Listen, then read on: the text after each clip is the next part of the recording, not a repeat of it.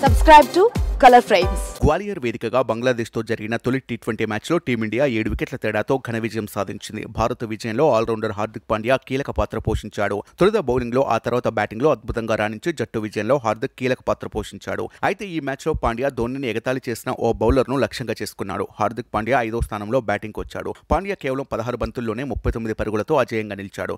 ఈ ఇన్నింగ్స్లో అతను ఐదు ఫోర్లో రెండు సిక్సర్లు బాదాడు. హార్దిక్ తన ఇన్నింగ్స్లో బంగ్లాదేశ్ ఫాస్ట్ బౌలర్ తస్కిన్ అహ్మద్ బౌలింగ్లో రెచ్చిపోయి ఆడాడు. తస్కిన్ బౌలింగ్లో వికెట్ కీపర్ లిటన్ దాస్ తలపై ఆడిన no look shot video viral అవుతోంది. పాండ్యా ఇలాంటి షాట్ ఆడగలడని తస్కిన్ కూడా ఊహించలేకపోయాడు. ఈ బౌలర్పై పాండ్యా సిక్సర్లు కొట్టి మ్యాచ్ను ముగించాడు. తస్కిన్ రెండు పాయింట్ ఐదు ఓవర్లలో వికెట్ లేకుండా నలభై నాలుగు పరుగులు సమర్పించుకున్నాడు. కాగా పాండ్యా ఇన్నింగ్స్పై భారత క్రికెట్ అభిమానులు ప్రశంసలు కురిపిస్తున్నారు. మహిళాంటి సక్సెస్ఫుల్ కెప్టెన్ అవమానించిన ఆటగాడికి సరైన బుద్ధి చెప్పావంటూ కామెంట్స్ చేస్తున్నారు. ఇంతకీ గతంలో ఏం జరిగిందో ఒకసారి గుర్తు చేసుకుందాం. రెండు వేల పదహారులో భారత్ బంగ్లాదేశ్ మధ్య ఆసియా కప్ ఫైనల్ మ్యాచ్కు ఒక రోజు ముందు బంగ్లాదేశ్ క్రీడా క్రీడాభిమానులు పిచ్చి పీక్స్కు వెళ్ళింది. అప్పటి భారత కెప్టెన్ మహేంద్ర సింగ్ ధోని తలను నరికి తన చేతులతో పైకెత్తి చూపిస్తున్నట్లుగా తస్కిన్ అహ్మద్ ఫోటో ఒకటి బాగా వైరల్ అయింది. ఆ ఫోటో ద్వారా మహిని అవమానించారు. పాకిస్తాన్ ఓడించిన తర్వాత ఈ చిత్రాన్ని బంగ్లాదేశ్ అభిమాని పోస్ట్ చేసినట్లు తెలిసింది. అప్పట్లో ఈ చిత్రం సోషల్ మీడియాలో వైరల్గా మారింది. ఈ వివాదాస్పద చిత్రం భారత అభిమానులలో ఆగ్రహాన్ని సృష్టించింది. అయితే ఇలాంటి పోస్టులను సృష్టించడం బంగ్లా క్రికెట్ అభిమానులకు కొత్తేమీ కాదు. రెండు వేల పదిహేను ప్రపంచ కప్ సందర్భంగా క్వార్టర్ ఫైనల్స్ ఆడుతున్నప్పుడే ఈ వైరానికి బీజం పడింది. ఆ మ్యాచ్లో రోహిత్ శర్మ అవుట్ అయినా కూడా ఎంపైర్ అతన్ని నాటౌట్గా ప్రకటించాడు. ఆ మ్యాచ్లో రోహిత్ శర్మ శతకాన్ని సాధించి ఇండియాను గెలిపించాడు. అప్పటి నుంచి బంగ్లా క్రికెట్ అభిమానులు